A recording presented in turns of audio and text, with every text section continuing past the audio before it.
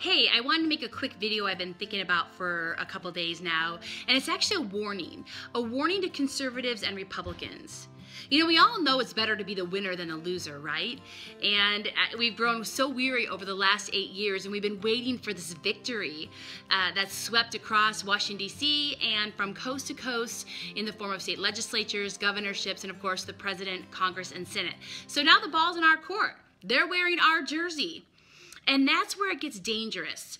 Because we have a lot of things we've been complaining about with President Obama, the liberals, and Democrat legislators across the country for a long time. And the challenge is going to be how are we going to respond when our team does those same things? Are we going to stand up and hold them accountable? Or are we a cult of personality that's going to pretend like it's okay? Either because they're doing it for good or the right reasons, or because Obama did it, so we're going to do it and undo what he did. There's a lot of ways to rationalize that, but it's very dangerous and it's wrong. And, and, you know, I can only tell you what I do.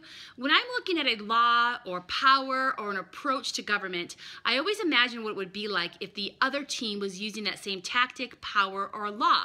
If they had done that or used it for their purposes, for their end game, how would I feel about it?